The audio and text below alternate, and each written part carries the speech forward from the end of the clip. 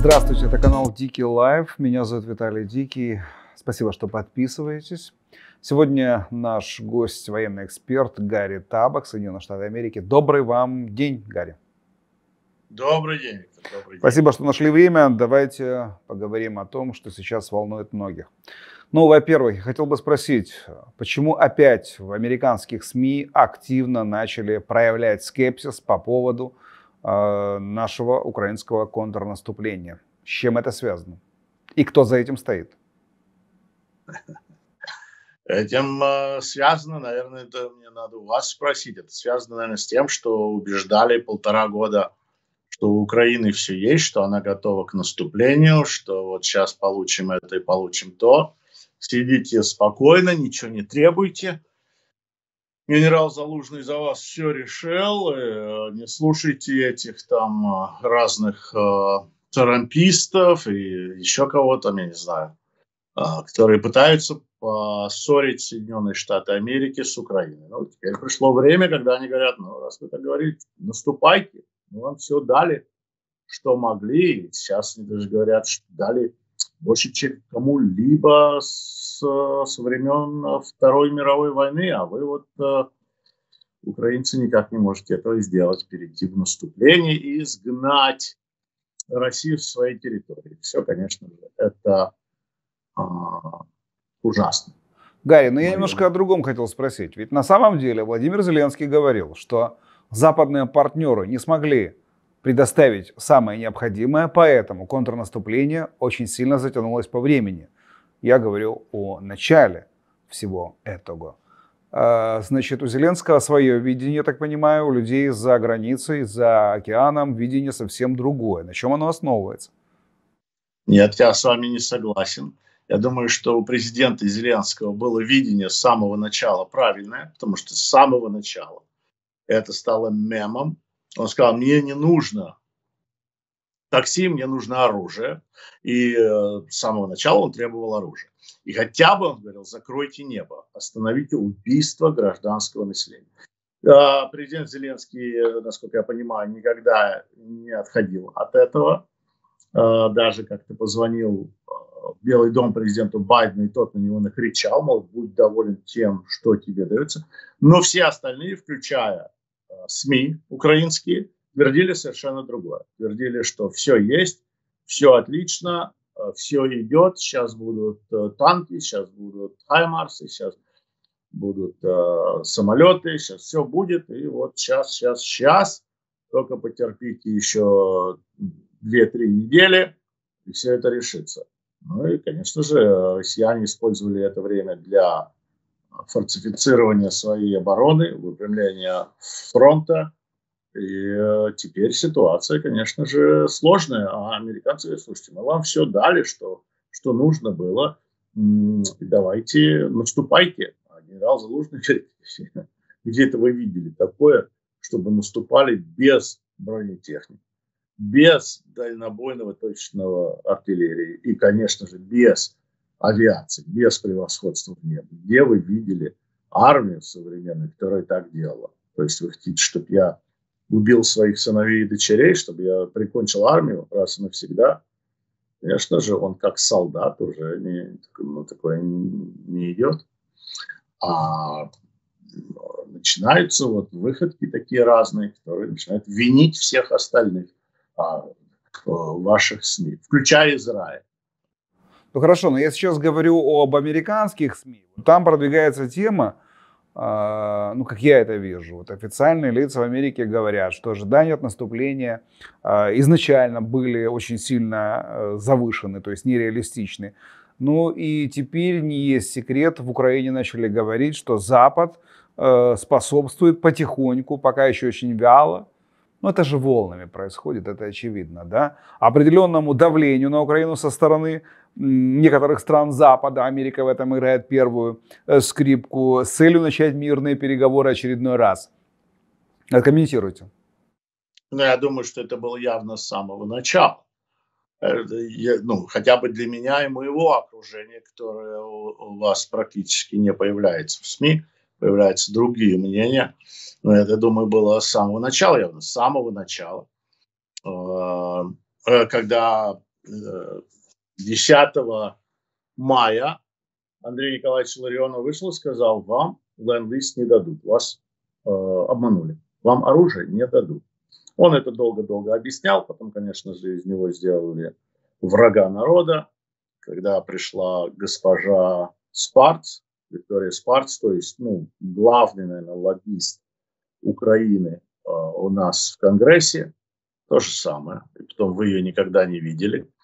Я начал это говорить где-то после 60 дней после того, как ленд-лиз был подписан.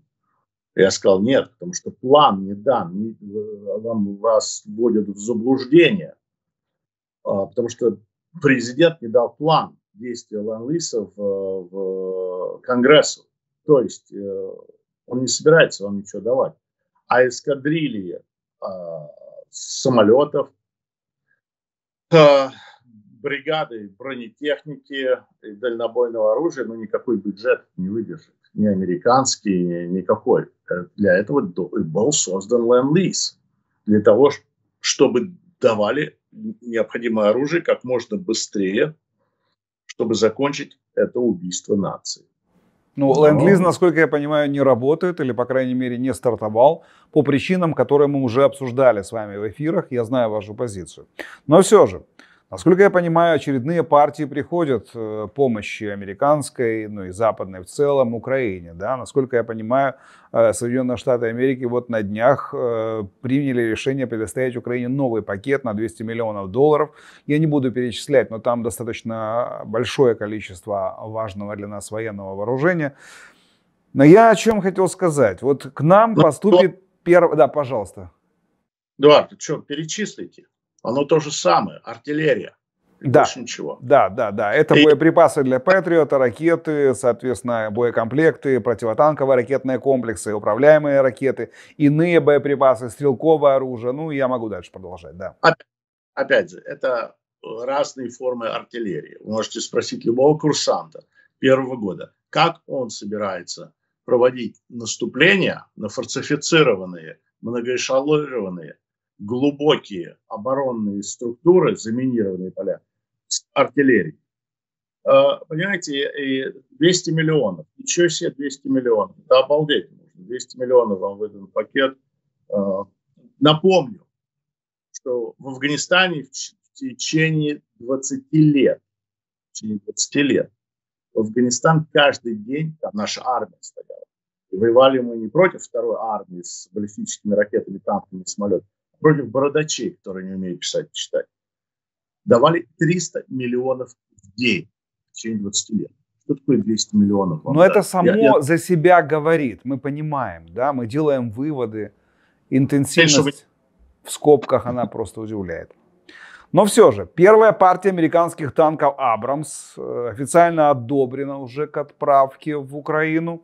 Э, ну и говорят эксперты, я не знаю, насколько это точно, в ближайшие выходные эта вся партия или какая-то большая часть должна уже прибыть в Украину. Об этом сказал глава отдела закупок сухопутных войск США Даг Буш. Ну и вот тут у меня возникает вопрос, что это за Абрамсы придут? Насколько они изменят ситуацию? И что будет дальше после этой небольшой партии нам ожидать? Опять же, фронт, который а, растянут примерно до такое же расстояние, как и во время Второй мировой войны, только тут не Советский Союз, а маленькая Украина а, против а, ну, примерно Советского Союза. И растянут. Что такое 31 танк с а, не очень хорошей броней, я не знаю. Я, я не знаю, как это, а, как это воспринять, что можно с ним. И когда на другой стороне там 3000 танков.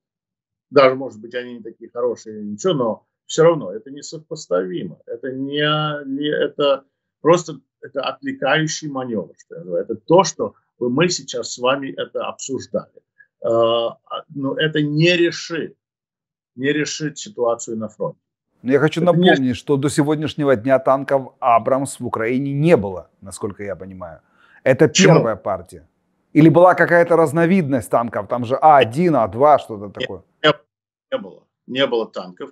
И э, были, дали леопардов, по-моему, Ну да, я же об этом говорю. Так вот, смотрите, я о чем хотел э, сказать и на чем поставить ударение. То есть лед тронулся, танки начали поступать в Украину, просто это первая партия. Э, в дальнейшем это может быть более интенсивно происходить. Насколько вы владеете информацией? Какие планы? Никаких. С чего взяли, что дальше? Эти танки были даны, по-моему, 9 месяцев тому назад. То есть даны деньги, вам выданы на эти деньги, вы заказали эти танки. Эти танки делались. Хотя у нас стоят тысячи Эбрамс э, в, в пустыне законсервированные. То есть я уже один раз заплатил за эти танки, которые стоят у нас э, в, в пустыне, а теперь я заплатил еще раз за эти 31 танк. Заместо того, чтобы дать те, которые у нас есть. Но там, а, опять же, они придумывают разные вещи из-за брони, из-за того, из-за другого. И вот сделали эти 31 танк, почему 31 я тоже не пойму, а дальше ничего. Где? Ленд-лист не, не, не, он заканчивается 30 сентября. А, план не дан президента Полонез, то есть его нет, он закончится. Продлят они его или нет, вот мы сейчас боремся за то, чтобы его продлили, как он был в оригинале представлен в Конгресс, то есть до окончания войны, и продолжать требовать э, оружия для Украины. Но эти 31 танк, еще раз, я хочу сказать, вот эти все разговоры про самолеты, про э, танки, про все, это отвлекающие маневры. Они не решают ничего на фронте. Это, это, то, это делается для того, чтобы мы с вами сидели и это обсуждали. Простите, это эти танки не решают или количество предоставленных танков не решает? Количество, конечно же, не решает. Это 31 танк не решит э, ситуацию на фронте. Это... И даже две Пардов не решит. Это, это, конечно, важный и э, один из первых вопросов. Но есть еще другая версия. В украинских СМИ говорят о том, что начали только подготовку для военнослужащих украинских вооруженных сил в мае в Германии. Я говорю о системе обучения. На это уходит несколько месяцев. Значит, вот ушло несколько месяцев, и первая поставка из 31 танка как бы э, сейчас э, очевидна. А, не все ли логично в этом а, звене или что-то не так? Вообще, ну, как для меня, вообще ничего не логично. Пожалуйста, вообще аргументируйте логично. свою позицию, мне это важно. Моя позиция такова, что э, я думаю, что уже все ясно, уже это тысячу раз обсуждалось, что Запад во главе с Соединенными Штатами Америки не заинтересован в, победе Украины, в разгроме российской армии и в разгроме России. Наоборот, они э, или мы Э, больше заинтересованы в стабильности в России и чтобы Путин оставался там у власти. Вот э, уже я не знаю, какими образом, может быть. Хорошо, это политические решения, это я человек военный, но то, что просил ваш президент с первого дня, почему мы этого не можем делать? Если мы не хотим давать э, наступательное оружие Украине, то почему мы не можем дать оборонительное, противовоздушную оборону, чтобы перестали падать ракеты на украинские головы, убивая украинских детей, женщин, гражданское население и разрушая инфраструктуру. То есть продолжать давать России заниматься террористическими актами против украинского народа. Почему мы не можем закрыть хотя бы небо над городами, э, над э, инфраструктурой, как дамбами, э, как ну, критическими структурами Украины. И также города, по которым до сих пор летят ракеты российские, которые, опять же, нас убеждали, что они должны были закончиться в течение двух недель, э, когда война началась. А что-то они не заканчиваются там, и конца им не видно. Почему мы не можем за больше, чем за полтора года дать достаточно украинцам ПВО? Даже, может быть, не F-16, а другие самолеты. У нас есть другие турбопаршевые самолеты, которые могут действовать тоже, помогая ПВО. Чтобы осколки не летели на города и люди не умирали. Этого я не могу, это, этого я не могу понять. Ну, это какие-то даже... политические игры, соответственно, вы правы, когда об этом говорите. Э, я думаю, что это основная проблема для Украины, вот, э, политическая составляющая процесса. Но все же, значит, э, есть такой генерал Игнат, он сказал о том, что, в общем-то, в Украине очень качественно закрыто небо Киева благодаря западным партнерам, ну и как бы окрестности, да, а в основном вся территория Украины простреливается, и это серьезная головная боль. Насколько я знаю, Кулеба обратился также к Соединенным Штатам, Кулеба это министр иностранных дел, о том, чтобы, э, а может быть, я неправильно называю, но вот эти ракеты дальнобойные были предоставлены Украине для активизации военных действий. Эти ракеты залетают и поражают цели на э, по территории противника. Американцы, кстати, очень сильно этим обеспокоены и пытаются там, значит, все это ограничить в переговорном процессе. Я имею в виду дистанцию, которую будут преодолевать эти ракеты. Но возникает вопрос, действительно, почему Соединенные Штаты и Белый дом и администрация Байдена не ускорит процесс помощи предоставления большого количества а, ракет для ПВО, сам, самих систем, там, я не говорю о Патриотах, они дорогостоящие, но, по крайней мере, американцы влияют на наших европейских партнеров, у которых есть более дешевые, но не менее качественные системы. То есть этот процесс как-то прекратил активно обсуждаться. Кто в этом виноват? Наверное, мы виноваты все в этом, потому что мы не скрипим, не требуем, не а, а, как бы опять же занимаемся вещами, которые отвлекают нас от проблемы. Э, говорим о, о тех вещах, которые не несут никакой сути. Но это отвлекает людей или убаюкивает их, и этим занимаются украинские СМИ уже полтора года что, что против чего, конечно, я довольно-таки частенько выступаю, и мое окружение, но моему окружению, ну, к сожалению, очень редко или даже никогда не выпускаются украинские СМИ. Поэтому, э, наверное, мы все виноваты в этом. Это, конечно, легко а, сказать, что там Израиль нам не дает. Но это легче всего, это традиционно. И, и все радуются, и, всем хорошо, и всем понятно. Хотя э, в списках Э, который создан генштабом, то есть идиоты же сидят, а наоборот, талантливейшие и опытные генералы и офицеры, в списках довольно там железного купола нет. Но есть у вас такие огромные специалисты, которые считают, что они умнее этого, поэтому Израиль виноват, и вот поэтому у нас такая трагедия. Это все отвлекающие маневры, это отвлекает, опять же, от проблемы, от сути, то, что мы должны сделать, и то, чего мы должны требовать. И таких, такие случаи каждый день происходят. Хочу только одно. Опять же, когда вы говорите о Соединенных Штатах Америки, надо э, уточнить. Это не Соединенные Штаты Америки. Соединенные Штаты Америки, то есть американский народ, проголосовал за ленд-лиз супербольшинством.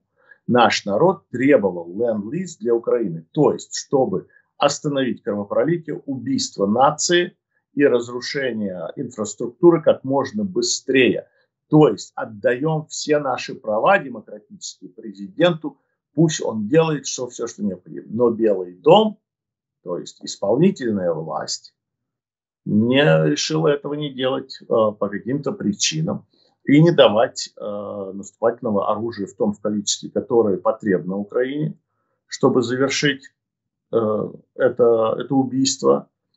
Э, решил этого не делать. Но более того, моя претензия к моей власти – это хорошо. Вы довели мир до этого состояния, вы ну, политики, дипломаты, журналисты, хотя бы дайте нам военным выполнить нашу, нашу задачу. Вы нам не даете работу, вы нам не даете инструменты. Вы требуете у врача, у хирурга, у опытного, талантливого, чтобы он вылечил рак, но инструменты ему для этого, для операции, это вы ему не даете. Вот, э, кухонным ножом иди делай. Нет, не, это невозможно. Поэтому хотя бы тогда закройте небо над Украиной. То есть закройте небо над городами. Всю Украину, понятное дело, невозможно это сделать. Ну, поля там открытые не надо. Ну, хотя бы города, э, инфраструктуру, которая критическая, дамбы, чтобы они не создавали э, экологические катастрофы э, россияне. Мы имеем дело с террористами. Хотя бы дайте украинским военным сделать то, что они могут, хотят и умеют. Но почему-то мы не даем им. Гарри, ну так вот вопрос, который я направляю вам. Как вы считаете, вот основываясь на собственных э, как бы, убеждениях э, и анализируя процесс, э, в котором как бы, вы активно пребываете, я говорю в Соединенных Штатах Америки, что говорят, о чем говорят, на чем ставят ударение, дайте мне ответ, что за политику проводит Белый дом таким вот образом, не давая нам необходимое. Это договоренности с русскими. Я не хочу вас наталкивать на ответ. Я хотел бы, чтобы вы это сделали самостоятельно. По вашему мнению, что происходит? Но это не мое мнение, но уже было напечатано и уже высказывалось очень много э, известных журналистов и даже в таких демократических и левых изданиях, как New, uh, Newsweek, где очень известный, он описывает, как ЦРУ и как э, господин Бернс, он договаривался с Путиным, как они обо всем об этом договорились. Мы видим, как посла сюда никогда не прислали, как сразу же сняли санкции с, север, э, с э, Северного потока на нас, подняли цены на нефть, раз, разругались с Саудовской Аравией и так далее. Все, вывели наши корабли из Черного моря. Все было сделано, сказали, что если будет небольшое вторжение, ничего страшного. То есть не объяснив, что такое большое небольшое вторжение. Поэтому русские выстроились в колонны и зашли, понимая, что сопротивления не будет. Ни оружия не дали, ничего. Забрали в первые же дни э, этой администрации, забрали, по-моему, 320 или 350 миллионов Украины и передали палестинцам на вооружение, когда, когда посыпалось на Израиль и все ракеты. Поэтому я думаю, что тут никакого уже секрета нет, что сегодняшняя администрация, и это не я говорю, это говорят уже многие, и даже в самой администрации, и даже а, на а, демократических каналах, они говорят, да, что был сговор, что они так договорились, причем давненько договорились. А, и что а, почему был и Будапештский договор и так далее. И они не ожидали, ну, слушайте, где это вы видели, чтобы еще до войны, за день или за два до войны, наш президент предлагает президенту этой страны бросить страну на произвол судьбы и улететь в Америку. И он ему дает а, убежище. Ну, вот, слава богу. Президент Зеленский не пошел на, на это.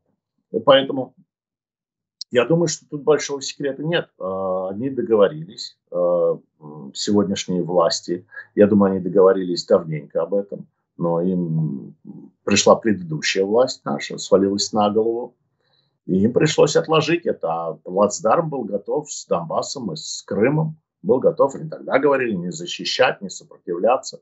То есть был, был, обо всем было договорено. То есть и вы говорите было... о сговоре, или как у нас говорят, о договорнике. Эта тема, да. кстати, очень активно обсуждается в украинских СМИ. Ну, конечно же, не в тех СМИ, которые контролируются властью, потому что это не камильфо об этом говорить это там избегают как тему для рассмотрения, но в любом случае мы прекрасно догадываемся, о чем идет а, разговор. А, я хотел бы вас спросить вот еще о чем. Я буквально несколько недель тому назад, после саммита а, в Вильнюсе, саммита НАТО, разговаривал с Андреем Миларионовым. Вы знаете такого общественного деятеля, известного экономиста.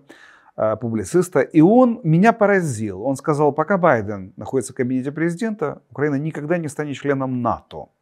Вы разделяете его точку зрения? И по вашему мнению, если это так, и вам эта тема интересна, назовите критерии. Как вы считаете, почему? Ну, опять же, э, я был на саммите НАТО в 2008 году в Бухаресте, я принимал участие, э, я тогда был в НАТО. И э, то, что, о чем говорит Андрей Николаевич Ларионов, он об этом говорил с первых дней войны, и даже до войны он начал это говорить и объяснять. Я не хочу повторять его слова. Э, он также говорил, что и война не закончится пока в Белом доме, в самом начале войны.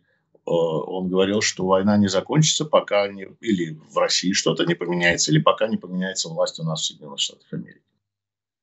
Пока что то, что говорил, так и происходит. И также э, 10 мая, 9 мая был подписан Лен-Лиз, и 10 мая он сказал, что Лен-Лиз вам не дадут. И, конечно, он, э, против него началась ну, реально там, гонение и э, кампания, чтобы его дискредитировать в Украине. Опять же, я не понимаю, зачем и кем, и почему это делается. Я, я простой солдат, я, я не понимаю всех этих игр, которые были. Но э, да, в том понятии и, и то, что я знаю про НАТО, Украину туда не примут. Э, чист, ну, во-первых, Соединенные Штаты Америки на сегодняшний день администрация это сказала. Опять же, это было сделано в первый день этой администрации. Она, это были слова президента Байдена. Он сказал, что вопрос о принятии Украины в НАТО на сегодняшний день снят с повестки дня. Это его слова. Taken off the table. Это вот точные его слова. То есть снят с повестки дня. Так что Соединенные Штаты как могут принять Украину. Ну, по многим-многим причинам он придумывал, что там это коррупция в Украине, в Албании нет коррупции, конечно, там, или в Соединенных Штатах нет. Сегодня он сам а, один из подозреваемых в самой большой коррупции, которая вообще когда-либо была. Но а, это отговорки, опять же. Но и с другой стороны тоже Украина должна тоже что-то по этому поводу делать, потому что как принимать в НАТО. В НАТО это должно быть э, не большинство голосования, а э, это должно быть э, единогласно. Все страны единогласно голосуют. То есть, если одна страна проголосует против, то принять невозможно. Я уже не говорю там о пятом параграфе и так далее, и так далее. Поэтому вы думаете, там Германия, Франция, Венгрия проголосуют за Украину? Я думаю, что нет. Поэтому, опять же, это все отвлекающий маневр. Сегодня говорить о Украине вступлении в НАТО – это отвлекающий маневр, и это только раз, ну, раздражает многие страны в НАТО и раздражает тех, которые понимают, что это пустой на сегодняшний день разговор. Пока Соединенные Штаты не решат, или администрация Белого дома, кем бы ни был там президент, не решат, что время подошло и надо нам придумывать какую-то систему, может быть, поменять некоторые критерии в НАТО, то есть голосовать большинством, а не единогласно и так далее. Я вот получил ответ на свой вопрос, благодарю вас за ответ, но я хотел бы, вот если мы говорим о НАТО, все-таки основным бенефициаром НАТО э, являются Соединенные Штаты Америки, и это факт. И, в общем-то, э, ключевой голос да, принятия решений, в первую очередь, это американский голос. Но вот нюансы лучше всего я предпочитаю иллюстрировать да, разговор. Значит, э, что говорят украинские военные о сотрудничестве с НАТО вот в этот ужасный военный период? Они говорят первое. Очень мало времени подготовки для украинских военнослужащих на базах НАТО в Европе но и в том числе в США. Ну, то есть большее время нужно тратить на подготовку а, военнослужащих для эффективной, а, значит, эффективного процесса. А, далее, они говорят о том, что вооружение, которое приходит, либо не очень современное, либо рассчитано не на такие активные боевые действия. Ну вот яркий пример, да, не буду вдаваться в подробности, называть фамилии и детали, но один из э, командующих одного из направлений сказал, что те машины, которые пришли для боевой пехоты, они рассчитаны на повстанцев, но совсем не рассчитаны под определенный калибр патронов, которые, или снарядов, которые используют россияне. Я говорю о стрелковом э, вооружении и так далее. Мол, в этом есть э, определенные несостыковки. То есть огневая мощь настолько сильная, что эти а, машины не выдерживают э, никакой критики.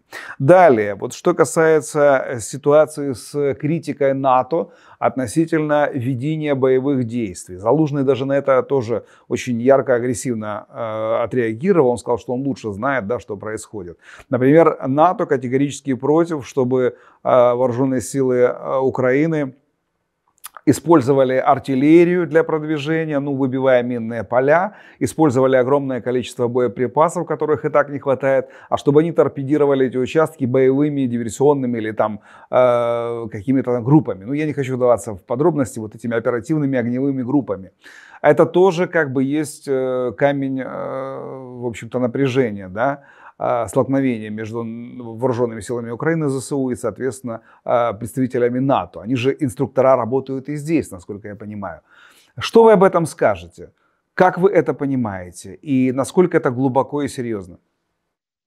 Ну, первое, то, что вы сказали, обучение Украин, недостаточно времени обучить украинских военных э, чтобы они там были, чтобы их принять надо. Мне это вообще звучит смешно, если честно вам сказать, потому что украинские военные уже воюют полтора года. Это они вас могут обучить уже войне и как надо воевать, а не а, НАТО их. Да, у нас есть какие-то стандарты, да, у нас есть там академии, все это.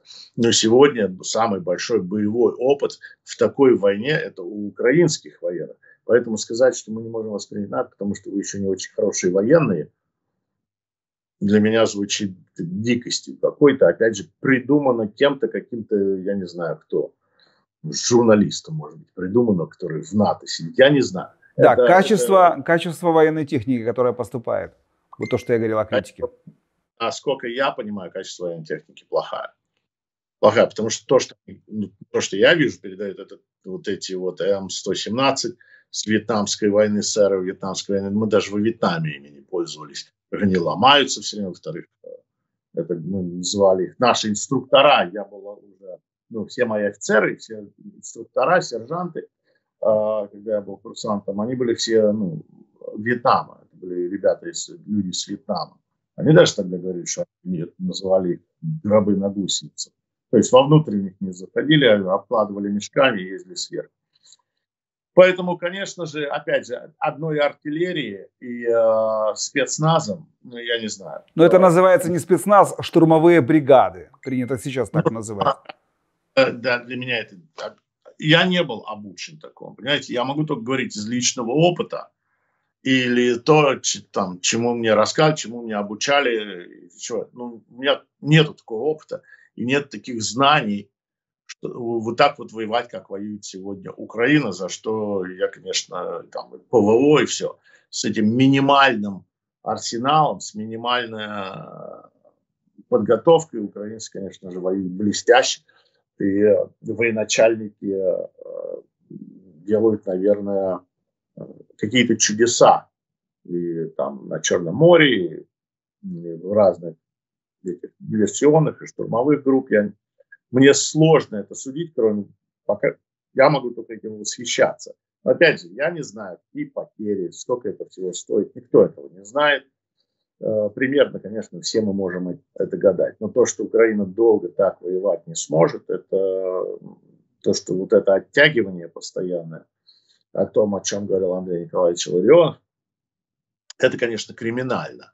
И опять же, не закрытие неба. А то, что это террористическое, терроризирует украинское население. То есть я так это... понимаю, что F-16 мы не увидим априори в ближайшее время, и даже разговоры о подготовки пилотов или военных летчиков, как правильно это называется, а пока об этом речи нет, да? Об этом никогда речи не было, кроме ваших СМИ. Э, президент Байден вышел и четко сказал, что F-16 Украине не нужны. Э, и что он их не даст. Потом, после, опять же, вот когда говорят, ну, все равно мы, да, вот видите, сейчас танки дают, Аймарс дают. Сначала говорили, не дадим, потом начинают давать, но при таком, э, при такой скорости передачи Украине оружия, я думаю, ну, у вас просто не хватит людей. Это чрезвычайно медленно и чрезвычайно недостаточно в моем понятии. Опять же, как, каким механизмом можно передать вам F-16? Я его не вижу. Вот этими пакетами эскадрильи F-16 вы не передадите. Обучение пилотов, про которые, опять же, вам рассказывали эти все сказки, это, э, вы знаете, э, в моей семье мне близкий человек, он, он военно-морской летчик, и я частенько с ним разговариваю про авиацию, и он сказал, что э, летчиков это, одно, это крим де ла крем, это, это, это лучшие из лучших любого общества, летчики-истребители. Это молодые ребята, которые, ну, они во всем, во всех отношениях они отличаются от, от остального населения. Он говорит, перетрени... дашь им табуретку, они полетят на ней. Это люди, которые созданы летать.